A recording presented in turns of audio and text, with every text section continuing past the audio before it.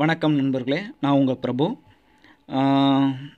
முந்தா நாள் பார்த்தீங்கன்னா ஜென்ரேட்டரை தூக்கி வைக்கிற வீடியோ பார்த்துருப்போம் அதுக்கு வந்து ஃபுல்லாக எர்த்திங் பண்ணிவிட்டு டோட்டலாக இப்போ பார்க்குறது வந்து எர்த் லைன் கொடுக்குறது.